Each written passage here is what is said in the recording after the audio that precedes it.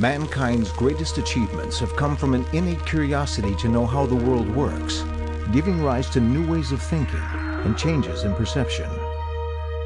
The earliest efforts to manipulate nature led to the rise of civilizations and the beginnings of abstract thought, from mathematical representations of the world around us to the radical concept of a universe made out of atoms.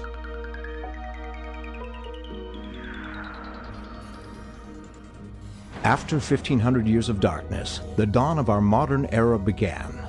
The scientific method with precise mathematics applied to the physical world revolutionized our understanding of the universe.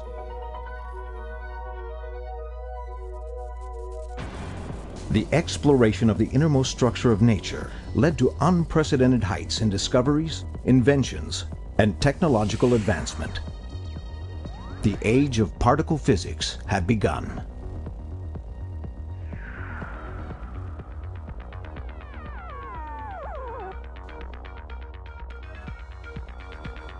Electromagnetism, radiation, and light were unified with space and time. A subatomic structure was discovered, and a revolutionary new set of laws brought order to this unruly particle world.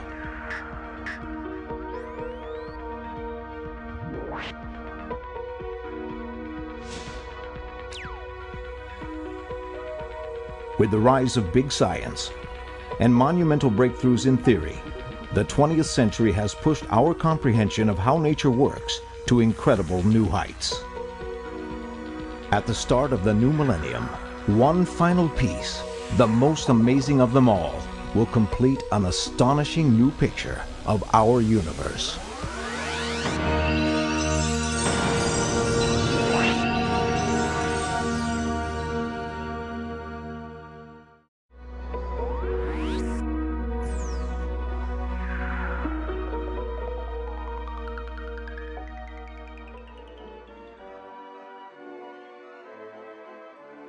We live in a particle universe. Everything we see and even things we don't see. An infinite number of combinations from a handful of elementary particles. We can begin to understand the secrets of this subatomic world by exploring this simple helium balloon. It contains every element that all matter is made of.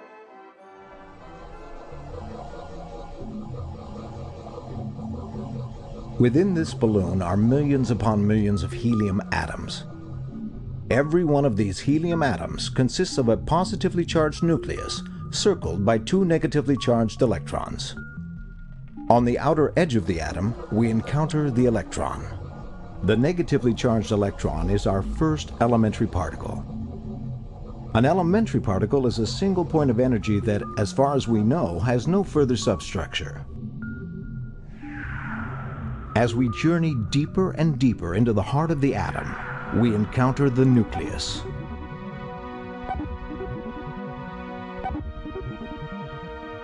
The nucleus of the helium atom contains two positively charged protons and two neutrons which have no charge. They consist of elementary particles called quarks, which are classified as either up or down. The up quark and the down quark are different in their mass and electric charge. The proton consists of two up quarks and one down quark. The neutron consists of two down quarks and one up quark.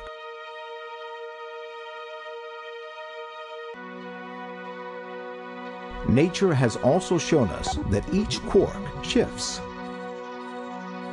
It has been discovered that in actuality there are three different varieties of up and down quarks. They have been classified as red, green, and blue.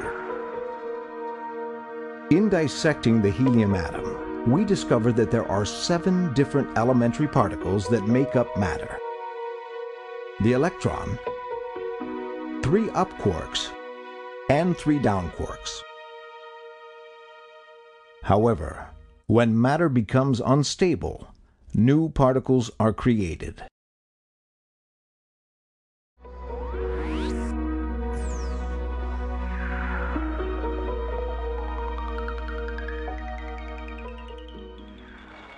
Through the study of radiation, an eighth elementary particle was first discovered.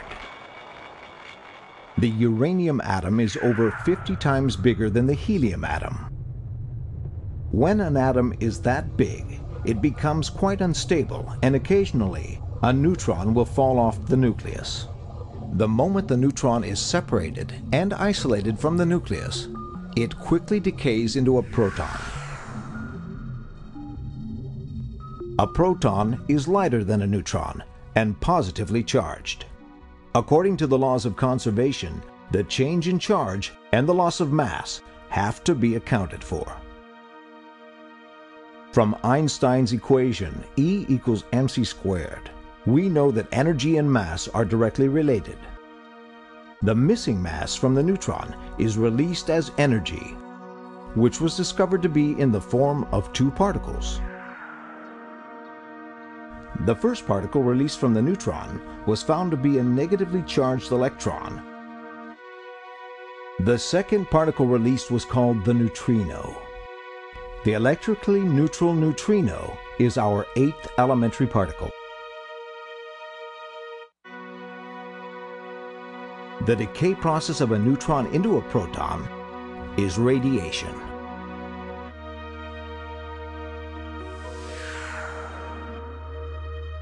The electron and the neutrino, together with the up and down quarks, we have our first family of particles that begins to fill the picture of the standard model of our universe.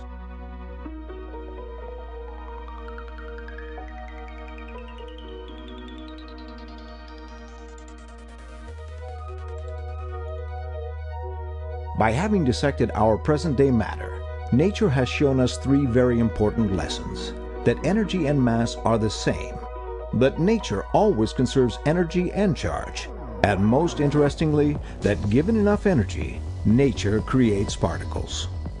The question becomes given the energy present in our Sun and highly energetic events in our universe, such as supernovas and quasars, what other particles has nature yet to reveal? To answer that, we must start creating particles.